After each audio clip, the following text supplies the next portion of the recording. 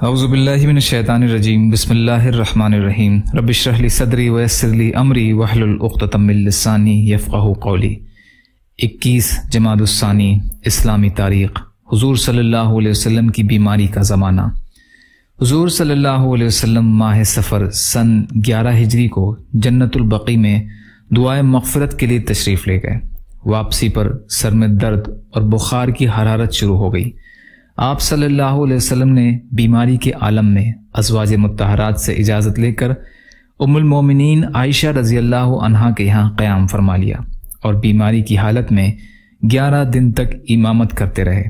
मगर जो जो वक्त गुजरता रहा, मर्ज बढ़ता गया हती कि एक दिन तबीयत ज़्यादा नासाज हो गई और नमाज़ ईशा का वक्त था। अबू बकर रज़ी अल्लाह को नमाज़ पढ़ाने का हुक्म दिया उन्होंने तकरीबन सत्रह नमाजें आप सल्लल्लाहु अलैहि वसल्लम की मौजूदगी में पढ़ाईं। एक दिन तबीयत कुछ संभली तो हज़रत अली रज़ी अल्लाह और हज़रत अब्बास रज़ी अल्लाह के सहारे नमाज़ जहर के लिए तशरीफ़ लाए। हज़रत अबू बकर रज़ी अल्लाह नमाज़ पढ़ा रहे थे, आहट पाकर वो पीछे हटने लगे।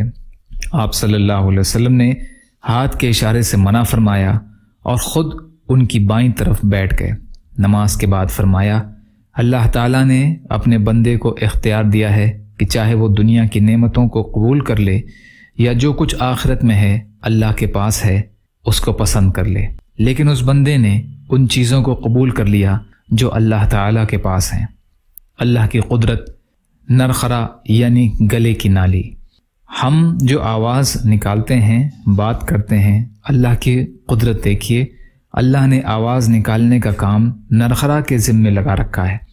नरखरा यानी गले की नाली, जिसको टेटवा भी कहते हैं, जबान, होंठ और दांत, ये हरूफ बनाने का काम करते हैं। फिर जबान उनकी अदायगी में मदद करती है।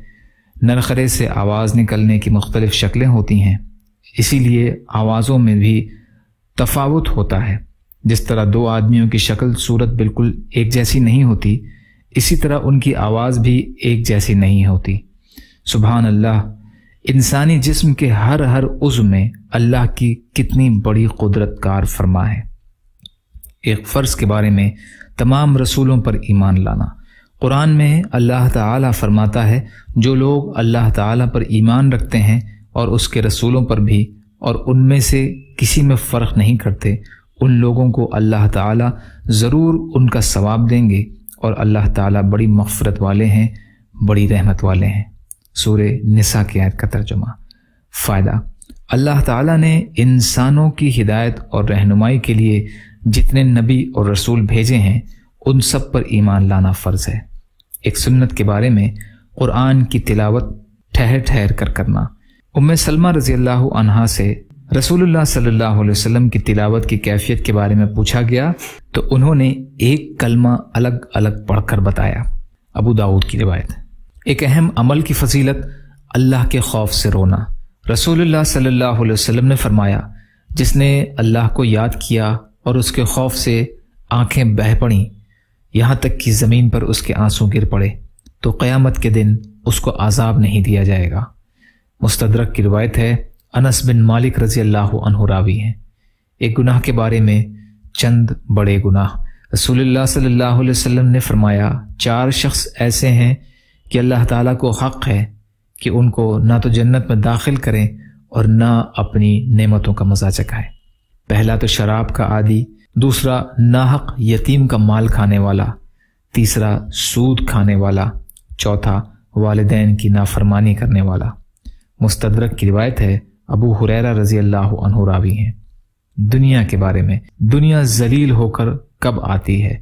रसूलुल्लाह सल्लल्लाहु अलैहि वसल्लम ने फरमाया, जिस शख्स का मकसद आखिरत होगा तो अल्लाह ताला उसके दिल में इस्तना पैदा फरमाएगा और उसके कामों को जमा कर देगा और दुनिया उसके पास जलील होकर आएगी।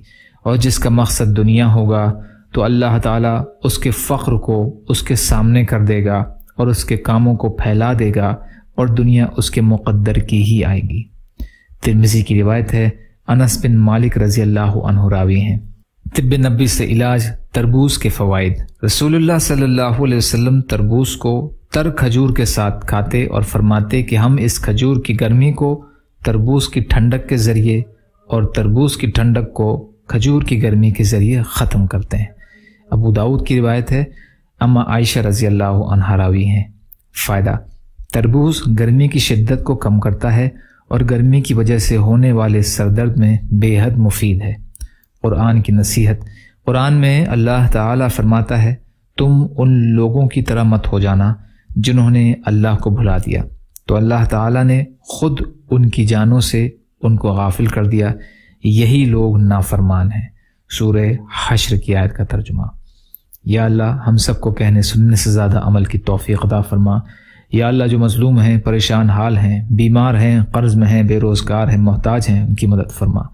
या अल्लाह, अपने हलाल में से दीजिए, अपने हराम से बचाइए। या अल्लाह, अपने गैर से बेनियाज कर दीजिए। आपकी खुशनुदी वाली शहादत की मौत का दर्जा अता फरमाइए। जो मांगा वो भी अता कर दीजिए। जो भूल गए हों, अपने फजल करम से अता फरमाइए। बरहमती का यार हमर राहिमीन। ला इलाहा इल्लल्लाह मोहम्मद रसूलुल्लाह। सलाम अलैकुम।